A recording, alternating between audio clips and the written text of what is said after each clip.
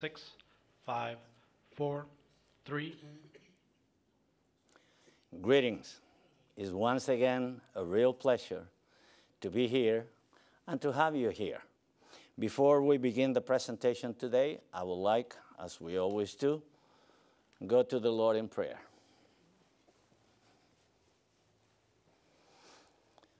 Our blessed and lovely Father, again we are in your presence, aware that thy Holy Spirit have descended to lead this study.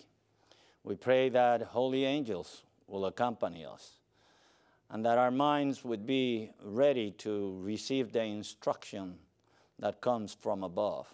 In Jesus' name, amen.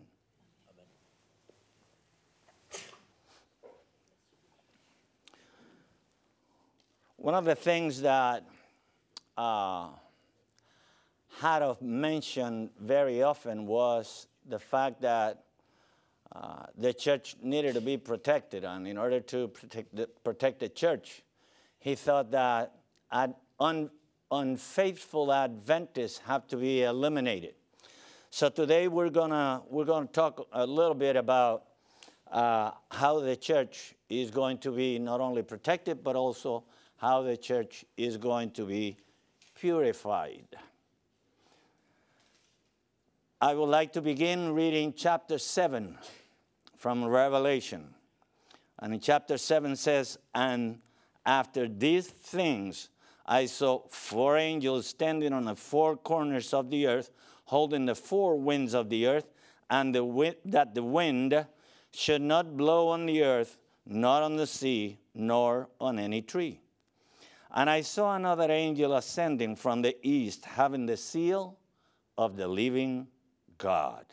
And he cried, cried with a loud voice to the four angels to whom he was given to hurt the earth and the sea, saying, Hurt not the earth, neither the sea, nor the trees, till we have sealed the servants of our God in their foreheads.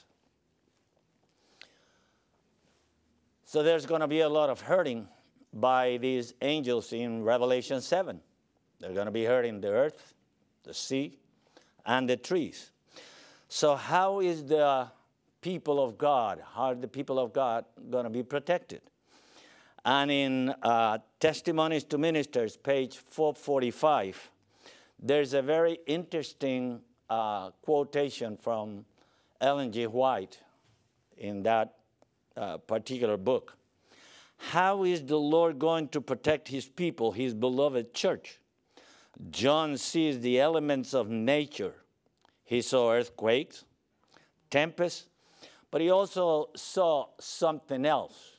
He saw political strife represented as being held by the four angels. So I want you to notice this very carefully. Is natural disasters like earthquakes, like um, uh, all kind of storms, okay? And uh, being held, but also political strife. These winds, says she, are under control until God gives the word to let them go. There is the safety of God's church. In other words, who's in control? God is in control. Therefore, nothing is going to happen to the church that God would not allow it to. Now, that uh, concept, political strife, what is that making reference to? Well, you know that uh, in politics, uh, it's in the Senate and the House where they approve or sign laws or not. So, what kind of law do you think that would be uh, affecting Seven day Adventists more than any other law? The Sunday law. So, what Sister White is saying in reality is that the Lord is holding back by holding the winds, He is not allowing the Sunday law to be signed. And there's got to be a reason for it. Uh, uh, Revelation 7 3 again, saying, Hurt not the earth, neither the sea nor the trees, till we have sealed the servants of our God in their foreheads. Not one of us will ever receive the seal of God while our characters have one spot or stain upon them. See, God does not have to kill to cleanse the church, but He indeed have to cleanse the church. There's no way that the latter rain can uh, be bestowed upon a church that is still contaminated with tares.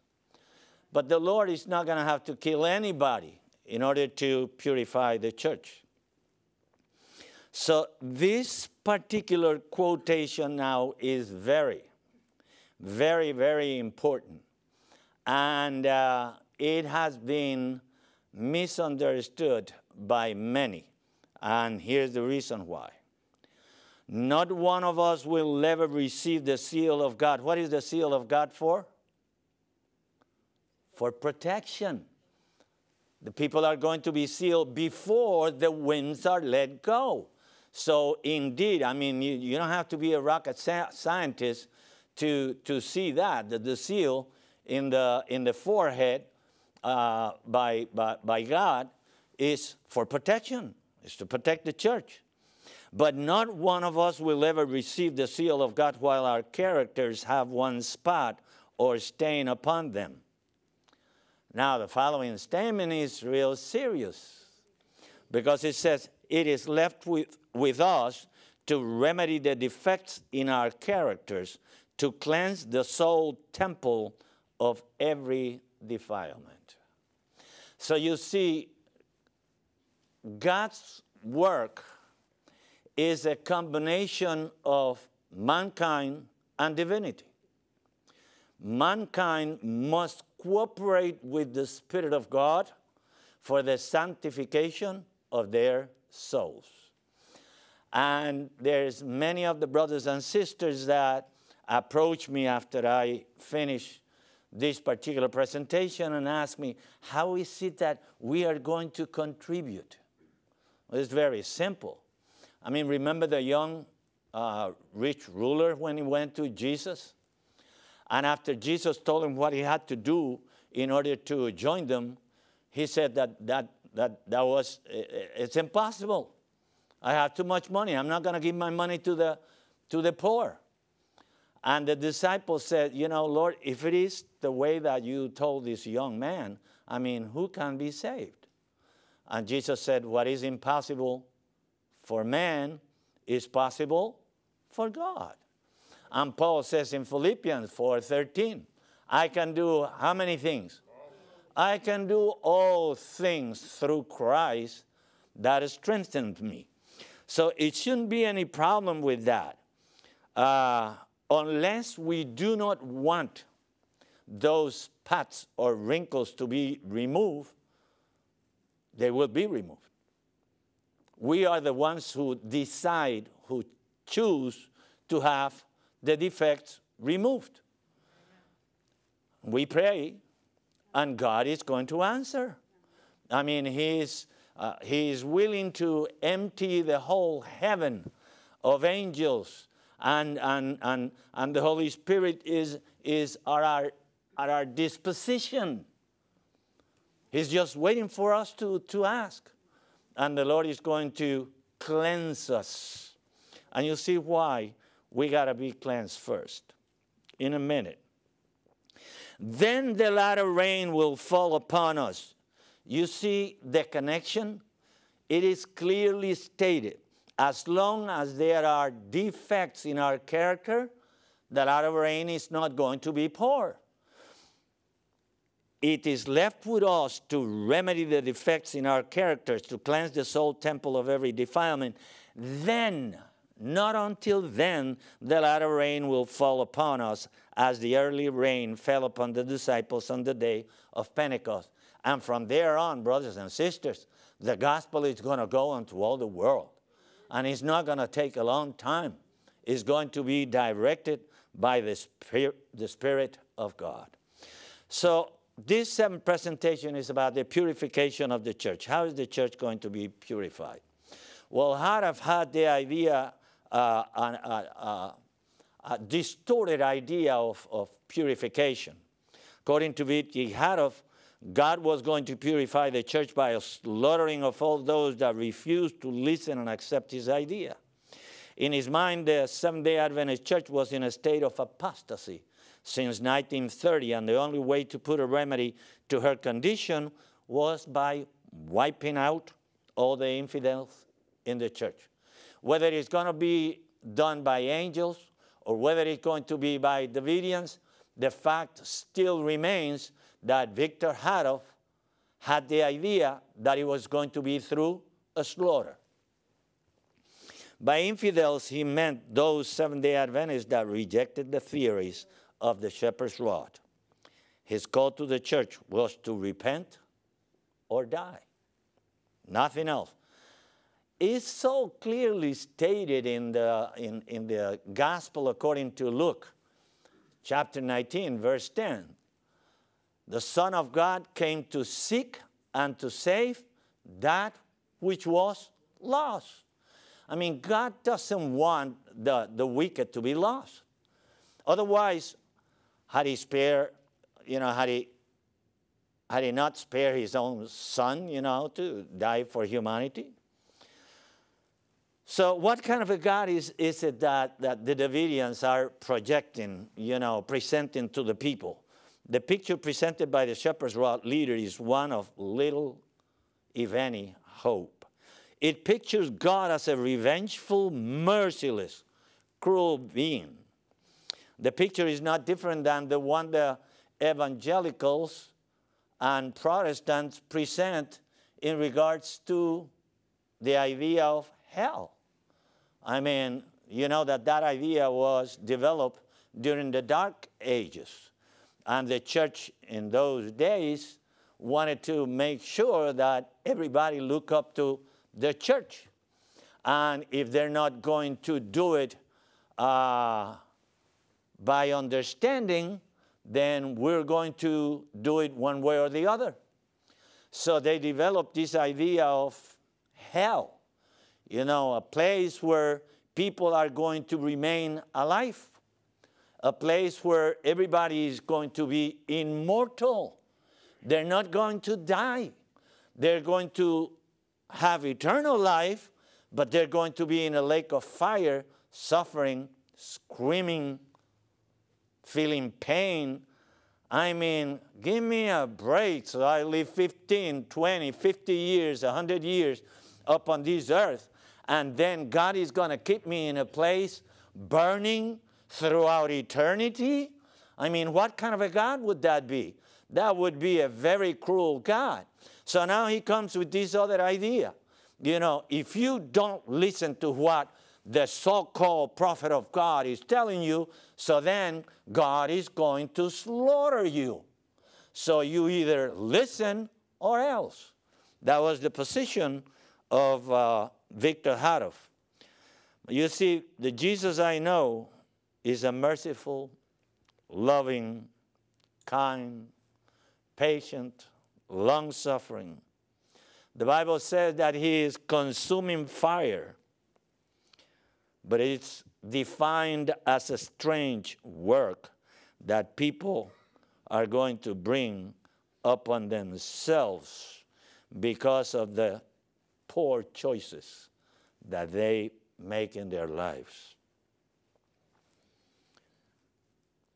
Lift him up, page 28. Satan had charge upon God the attributes he himself possessed. Isn't that what, what the devil always tried to do? I mean, he portrays God the way that he behaved. Now in Christ, he saw God revealing his true character, a compassionate and merciful Father, not willing that any should perish, but that all should come to him in repentance and have eternal life. The way that I picture the destruction of the wicked is as follows See, God does not intend to destroy any of the wicked, He doesn't want to. But the wicked did not want to part with sin.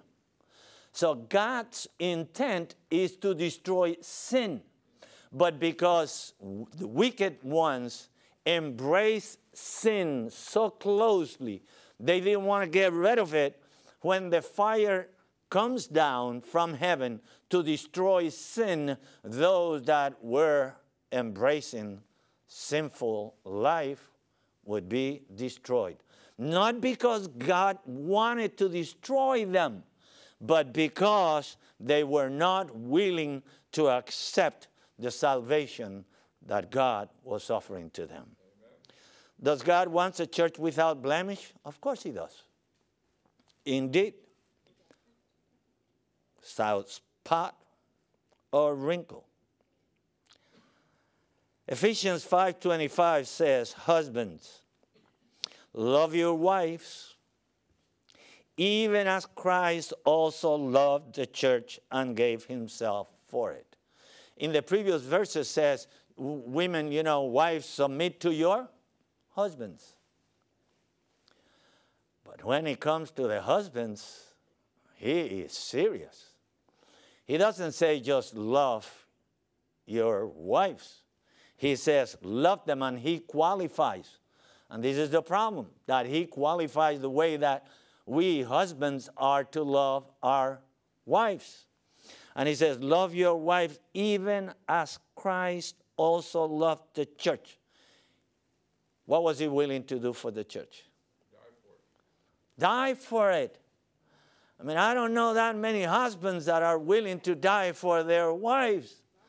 I mean, there's so many of them when I was still pastoring and and they would come, you know, uh, Pastor, I mean, I, I, don't know what to do. I mean, is, is there any solution for the situation? I, I want to break it up, but I don't want to be lost.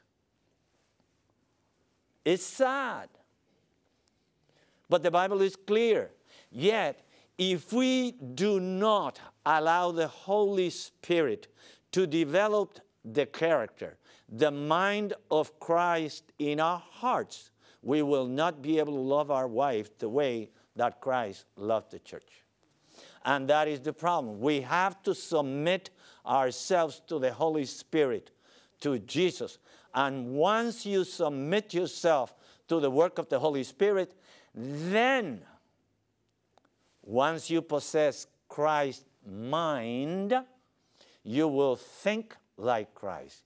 You will act like Christ. You will love like Christ.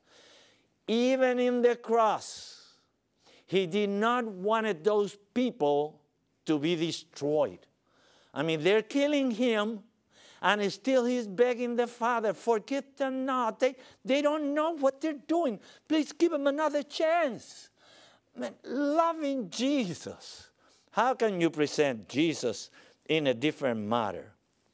That he, speaking about Jesus, might sanctify and cleanse it with the washing of water by the word, that he might present it to himself. He is going to purify the church himself if the church only allows him to do it. That he can present it to himself a glorious church, not having a spot or wrinkle or any such thing, but that it should be holy and without blemish. Just let Him work in you. Purification or sanctification is a lifelong process. It's not anything that is going to happen in five, ten minutes, or seven days, like Houteff said. During seven days, there's going to be angels slaughtering Seventh day Adventists that did not want to receive the message of the shepherd's rod. Those who profess to be disciples of Christ should be elevated in all their thoughts and acts and should ever realize that they are fitting for immortality. This is the training ground, planet Earth.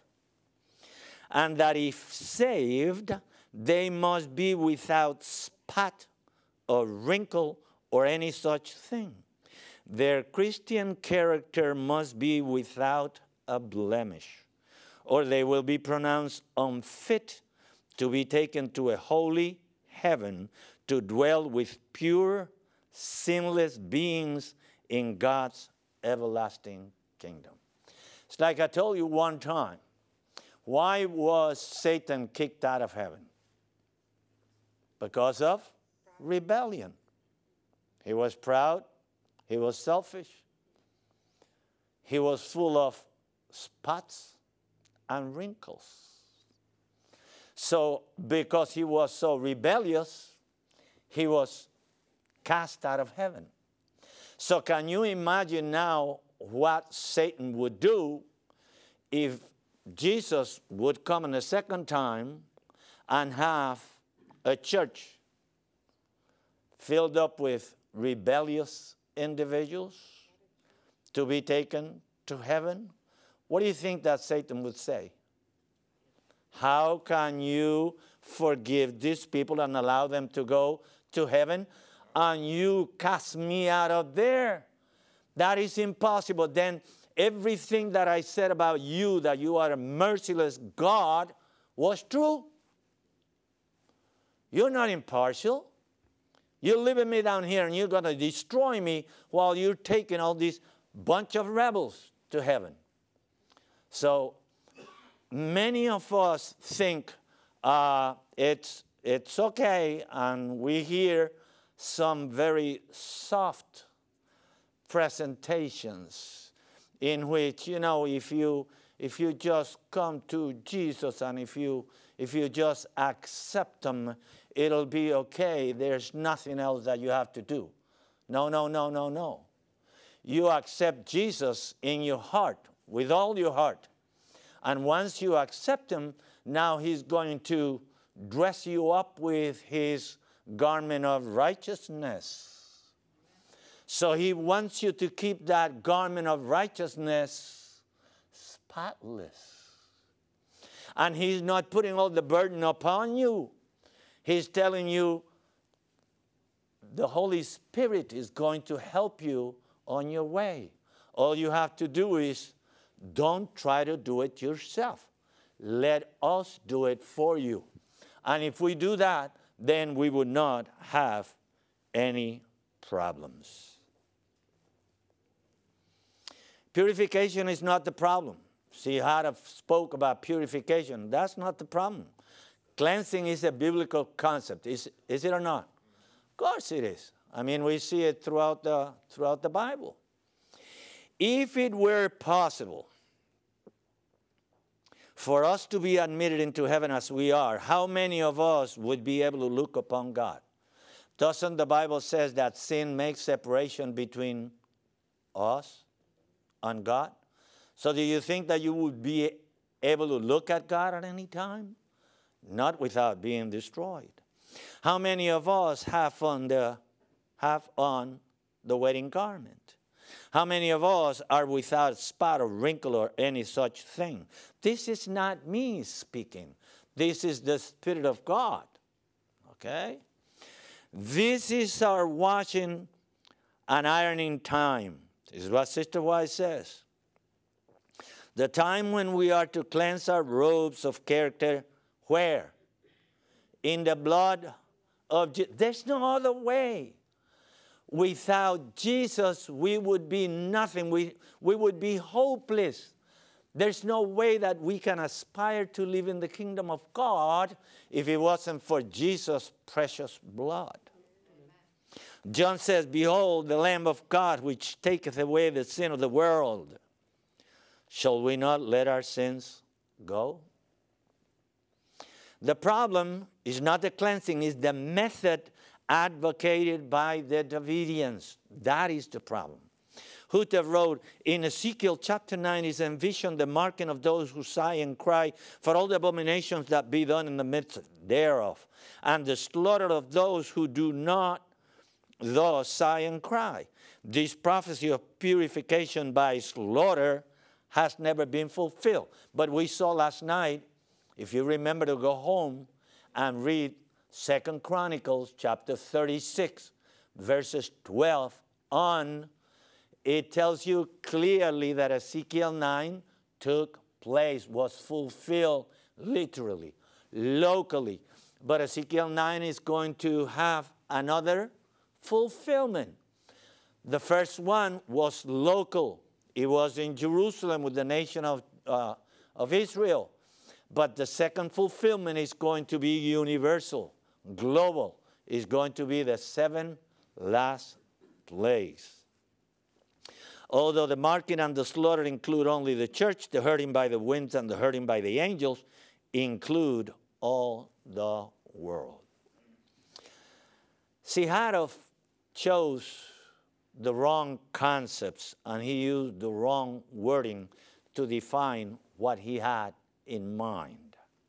Instead of pursuing a state of purity by grace through faith, or what the Bible advocates as sanctification, Houteff promoted a state of purity by elimination. Forget about the process of sanctification. The church is not going to listen, kill them all, slaughter them, get them out of the way. Not the elimination of sin by the leading and grace of the Spirit of God, but rather the elimination of the sinner. Now, we have heard this so many times. God hates sin, but He loves the sinners. As a matter of fact, heaven is going to be filled of repented sinners. Why? Because the Lord loves them. He doesn't want the destruction of the wicked, He wants to save them. As one considers the bitterness that Houteff developed as a result of his misunderstanding at the Glendale Sanitarium, it's not difficult to think that he was allowing his feelings to interfere with, with his doctrinal issues. Remember, he didn't receive VIP treatment in the hospital, the Adventist hospital, so the Adventist church is wrong with everything. Now, Ezekiel 9 and Revelation 7 are taken out of context by Houteff. You remember that Sister White says in page 445, Testimonies to Ministers, that what Ezekiel saw in Ezekiel 9, the vision of Ezekiel 9, is similar to what John saw in the vision of Revelation 7. In one of them, there's five, in Ezekiel 9, there's five angels that do all the hurting, okay?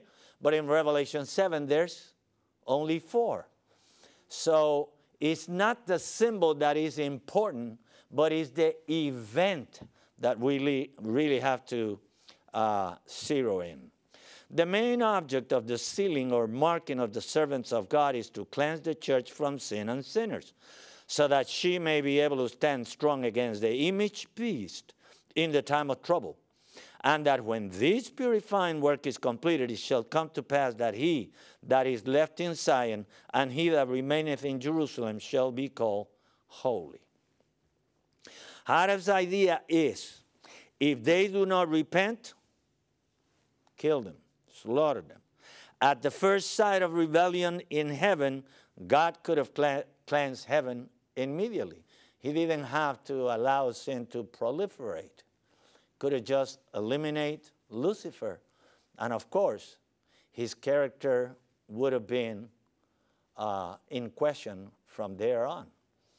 Because God is a just God, but He is also a merciful God.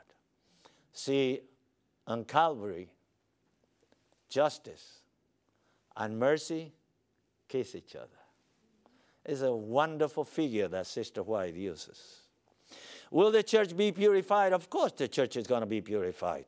It'll go through a process of purification, but not in the fashion understood by Victor Houteff and the Davidians. It will not be by slaughtering. I promise you that. For many, in many times, in many occasions, they have foretold that the slaughter was going to take place in 1959. Well, Houteff said initially that it was going to be in 1930 when the church fell from the, from the grace of God. Then his wife said that it was going to be in 1959. Then Benjamin wrote and said that it was going to take place in 1960. Then from there on, after they separated in groups everywhere and they installed uh, Mount Carmel centers and there were prophets all over the place, then each one of them have their own interpretation, their own dates, and their own uh, uh, future events. They all wanted to be prophets.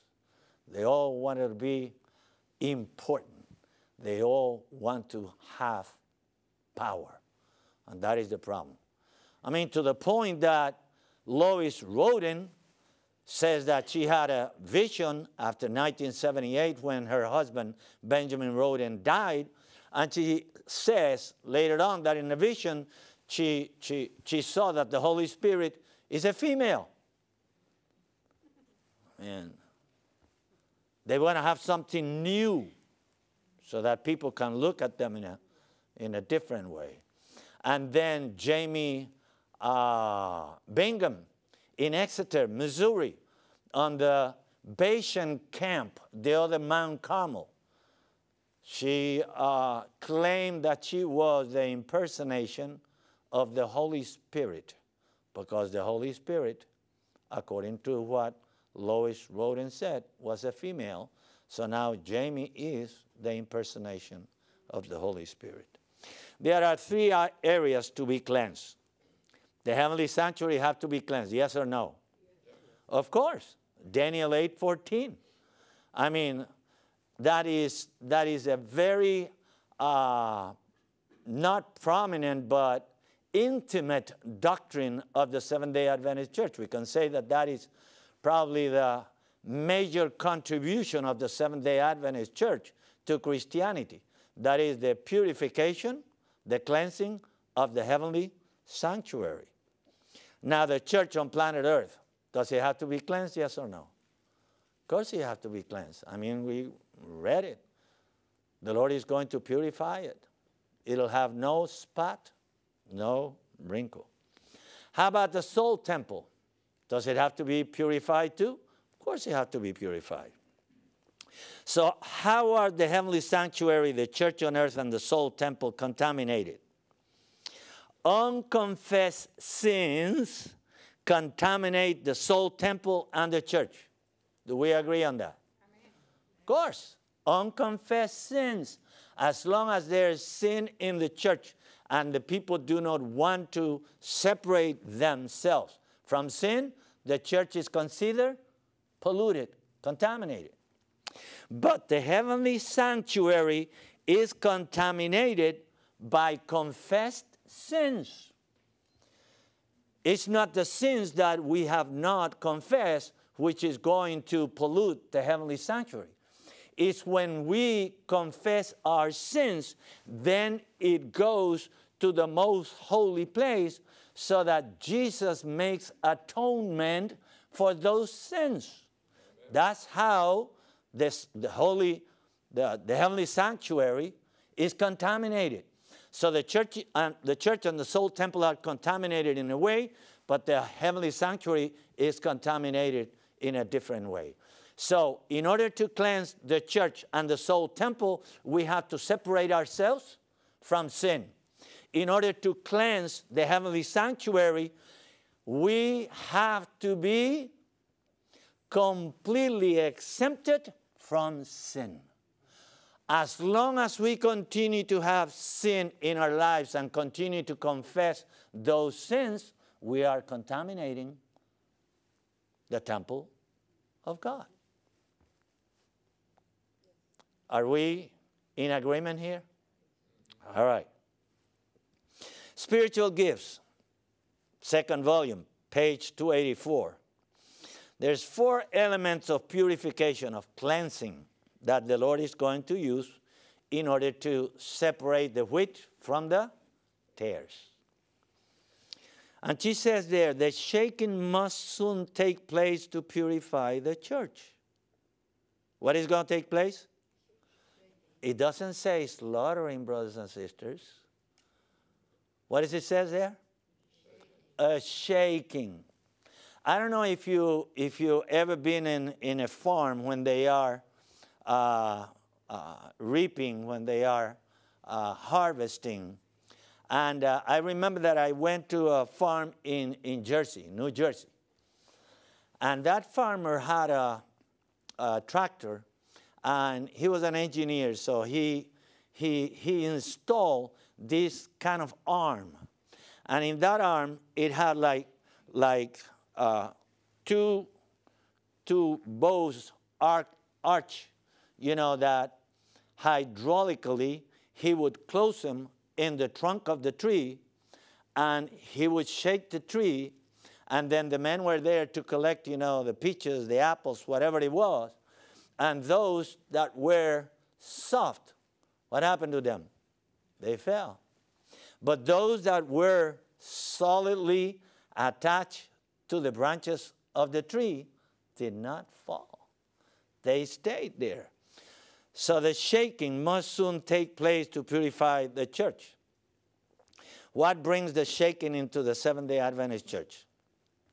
Not a slaughtering. Four elements of purification or shaking of the church are number one, Sister White says, the straight testimony of the true and faithful witness. And where do we find that in the Bible? Revelation. In Revelation. Revelation 3. And if we go to Revelation 3, we're going to find the following. Look what it says. It says in verse 14, And unto the angel of the church of the Laodiceans write, these things saith the Amen, the faithful and true witness, the beginning of the creation of God. Who is this? It's Jesus. He is the faithful witness. I know thy works. You're not going to fool me that thou art neither cold nor hot. I would thou were cold or hot. So then, because thou art lukewarm and neither cold nor hot, I will spew thee out of my mouth because thou sayest, I am rich and increase with goods and have need of nothing, and knowest not that thou art wretched and miserable and poor and blind and naked. That is the message of the true witness. Does he know what the condition of the church is? Of course he knows. He knows what's going on in the church. I mean, I repeat it, 2,000 years ago, he spoke about the parable of the wheat and the tares. So for 2,000 years, the church should have understand what the problem is. Because it wasn't until the people in the church, the servants, that he left in charge, the stewards, it wasn't until they fell asleep that the devil was able to plant the wrong seed in the church. So, the straight testimony of the true and faithful witness I know your works. Does works count? Yes, they do. As long as you don't put uh, a cart before the horses. See, you can't work in the line or according or in harmony with the Holy Spirit until you have met Jesus, until you fell in love with Jesus, until you are enamored with Jesus, until you consider Jesus the best thing in your life, you can't work along with the Holy Spirit. That is the first thing is an encounter with Jesus is falling in love with Jesus.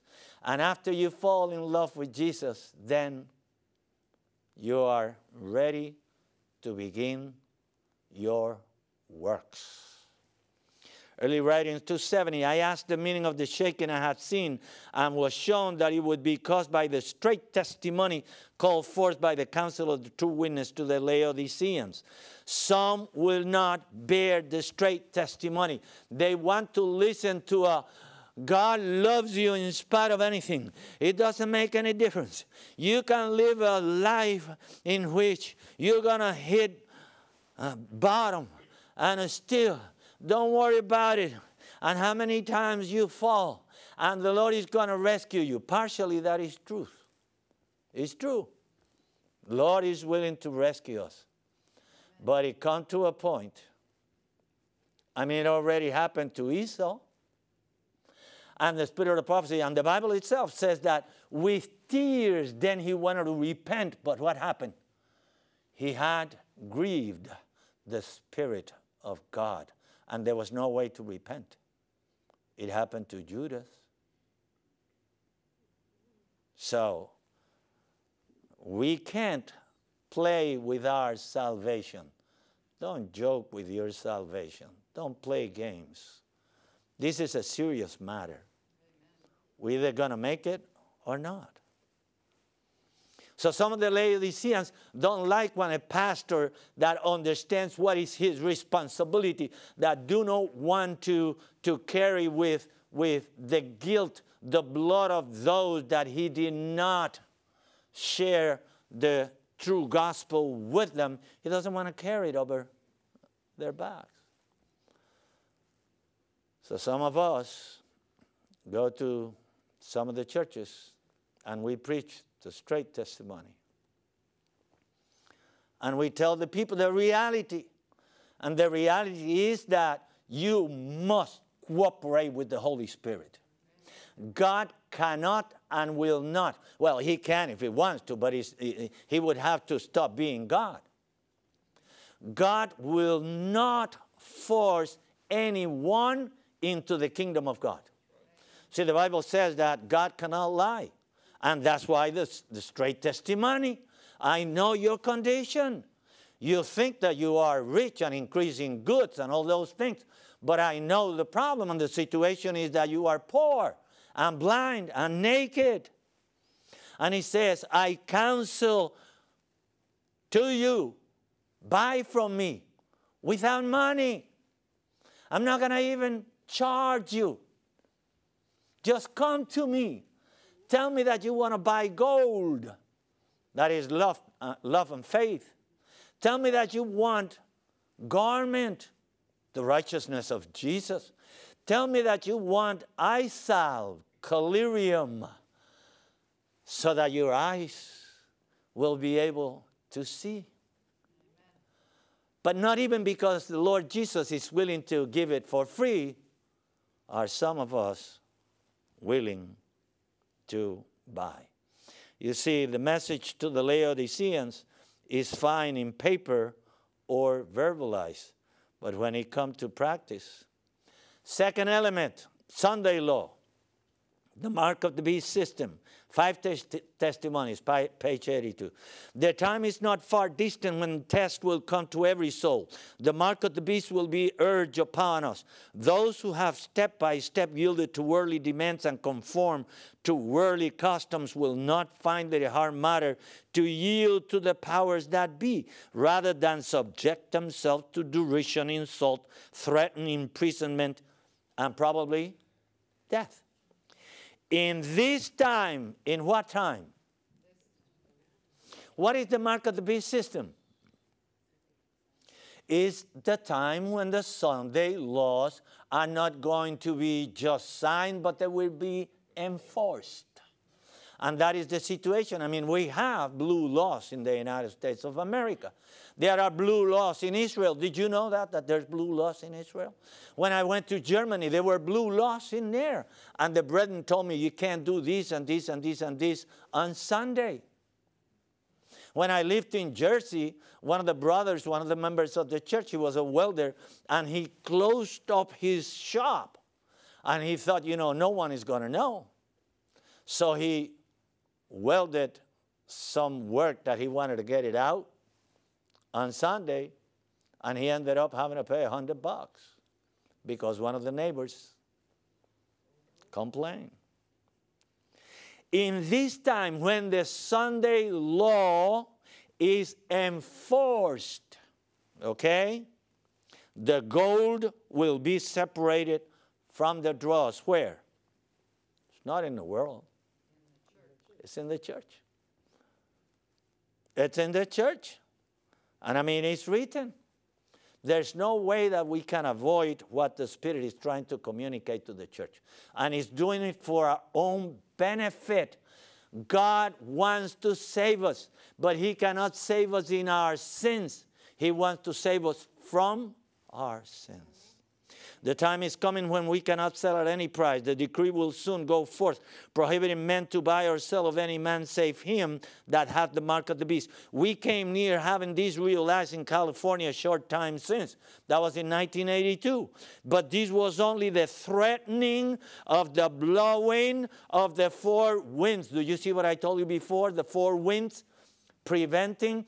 The angels are preventing the winds from blowing. And those winds are a representation not only of the natural disasters, but also the Sunday law. As yet, they are held by the four angels. We are not just ready. Why is it that the Sunday law is not being signed? Because the church is not ready.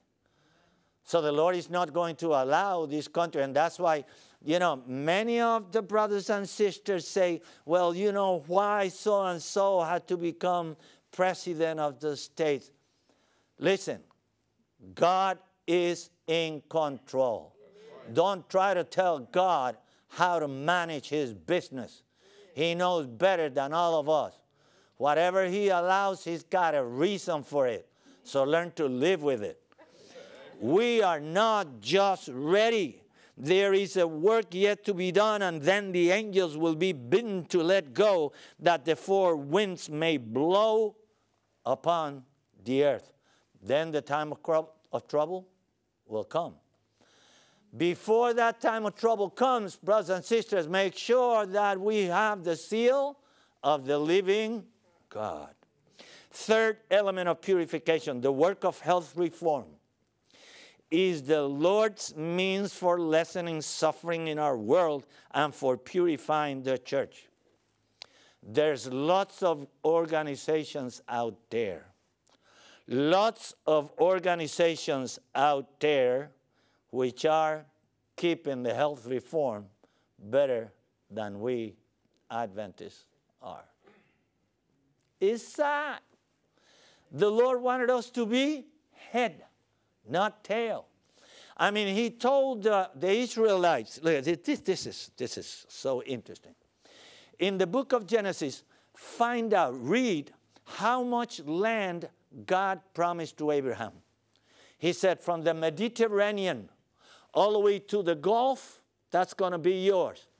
From all the way from the Euphrates to the, to the, to the uh, north of Egypt, all that is going to be yours. I mean, this has proven to be the richest part of the world. But what happened? They became lazy. As soon as they enter, you know, uh, on the east of the Jordan, and, and immediately Reuben says, you know, uh, um, you know, we just we just took all these people out of there and look at those houses. They're already they're already uh, uh built, and can can can we stay here? On this side of the Jordan. And then you guys can go and continue conquering the land. Joshua said, uh uh-uh. uh If you don't go and help, you don't inherit here or there. So he had to go. But they got tired, they got lazy, they lost faith. It's sad. What are we doing today?